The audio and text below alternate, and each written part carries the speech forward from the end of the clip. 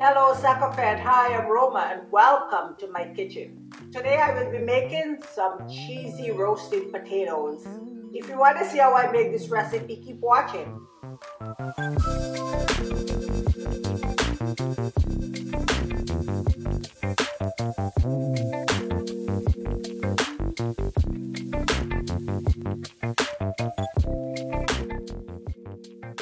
And don't forget to like, share, and subscribe. And hit that notification bell so you never miss an episode. Now let's get cooking. So, main ingredient, our petite yellow potatoes. We have some cheddar cheese, some paprika, onion, Italian seasoning, and bacon. So first step, I'm to turn this stove on. I have some water here in a pot and I'm going to add some salt to it. A little bit more. And what I'm doing is going to boil these potatoes before I roast them. In the meantime, I'm going to fry up some bacon. All right. Woo! We're going to cook that up. Listen to that bacon.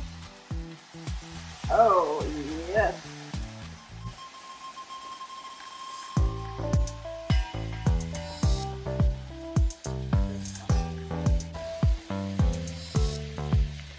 Now I'm just going to cook that until it's nice and crispy. So I'm multitasking. See my water, water is boiling now. Just going to add the potatoes to that. Cover it up and let it cook.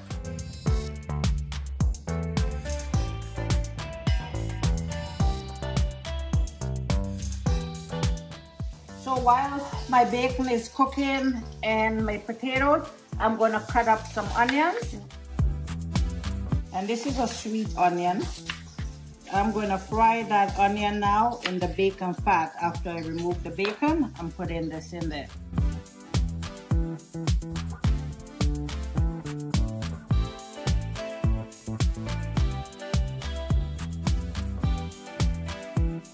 Okay, now this is fine and you can see it's cooked now. So I'm to take that off. Now I'm to put my onions in there. I'm to turn it down to low and add these onions in there. Just to let that caramelize. And that bacon fat is to add so much flavor. Mmm, that's to be so good. Okay, so these are cooking nicely. So just gonna let it stay there cook away for a few more minutes. I'm not going to overcook them because they're going to finish, they're going to be cooking again in the oven just until they're nice and soft. So I just picked some fresh parsley from my garden and I'm going to cut it up so I can garnish. That's it. Chop it up.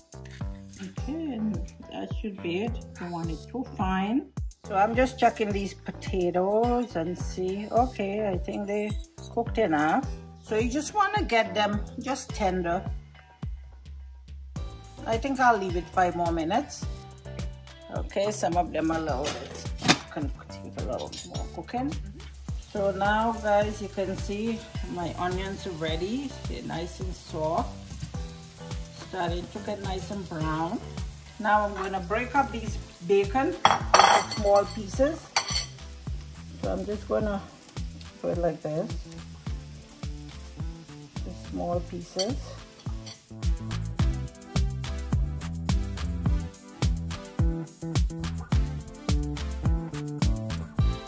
That's our bacon. You can see all broken up into pieces. Now I'm to check my potatoes. These potatoes are done and you can see they're all done so I'm gonna just drain them out.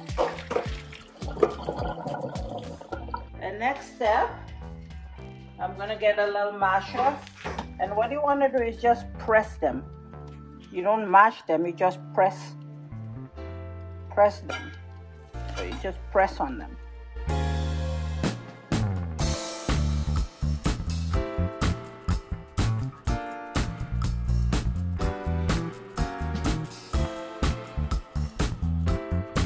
So this is my casserole pan I'm going to use and I'm just going to spray it with a little cooking spray just so they don't stick. I'm going to put it in here. just transfer everything in there. Okay. Okay, that's it. Next, and you can see our potatoes. Look at that, they look good, huh? We're gonna put some paprika all over that. Oh, nice paprika all over. Just to cover it. Then, a little bit of Italian seasoning. Sprinkle it like that. And then we're gonna put our onions. So we're just gonna take these onions and just spread it all over on top.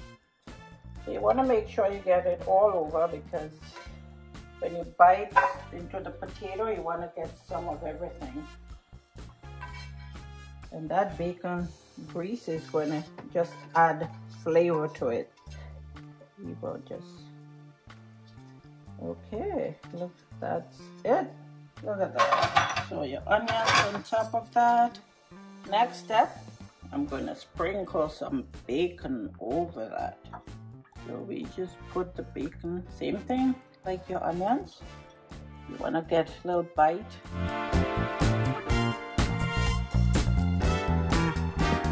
And then we're going to top it with our cheddar. So just put some right over top.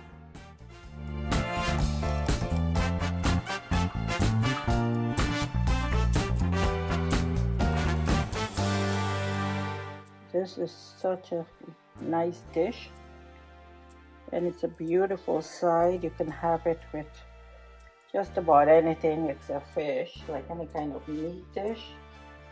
Or you can just have it like that all by itself. My oven's been on it's on 375 and i'm gonna put it on the top rack. About 15 to 20 minutes i would say.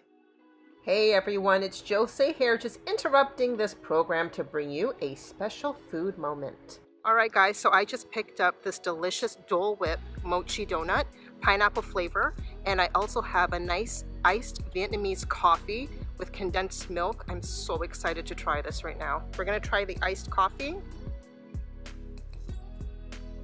Oh my goodness.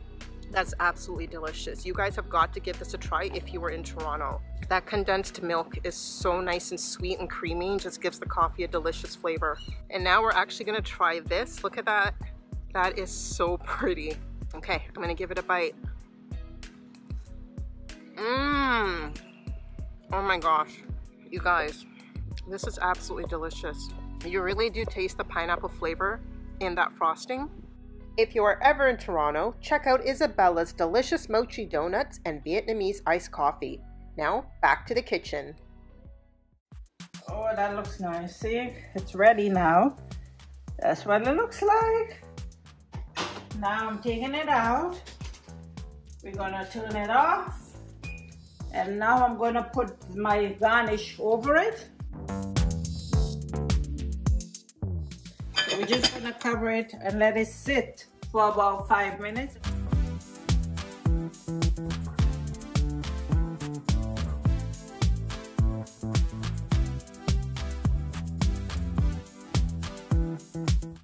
Okay, I'm gonna dig into it and we have some sour cream with it. Ready to go. Mm-hmm. That's good. The onions with the bacon and the sour cream. Mmm. Mmm. -mm. That is so good. Oh, this is a big piece here, but I'm gonna get it all in. Mmm. That is delicious. Guys, I can't stop eating this.